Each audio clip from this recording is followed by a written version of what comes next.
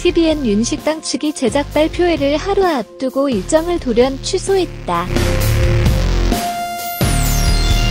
윤식당 측은 3일 공식 보도자료를 통해 오는 4일 오후 2시 예정되었던 TVN 윤식당 제작 발표회가 사정상 부득이하게 취소되었음을 안내드린다고 밝혔다.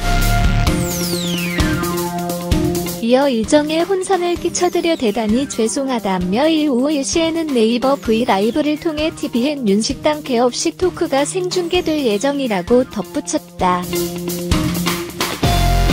이날 제작 발표회 대신 진행하는 윤식당 네이버 브이라이브에는 윤여정, 이서진, 정유미, 박서준과 함께 나영석 PD, 이진주 PD, 김대주 작가 등 제작진이 참여한다.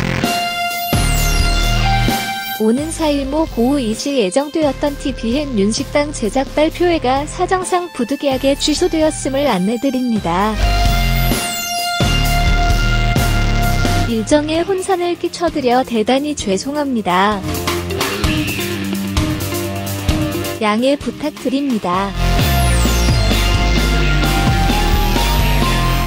4일 모 오후 1시에는 네이버 브이라이브를 통해 TVN 윤식당 개업식 토크가 생중계됩니다. 이날 네이버 브이라이브에는 윤식당 출연진인 윤여정, 이서진, 정유미, 박서준과 함께 나영석 PD, 이진주 PD, 김대주 작가 등 제작진이 참여할 예정입니다. 감사합니다.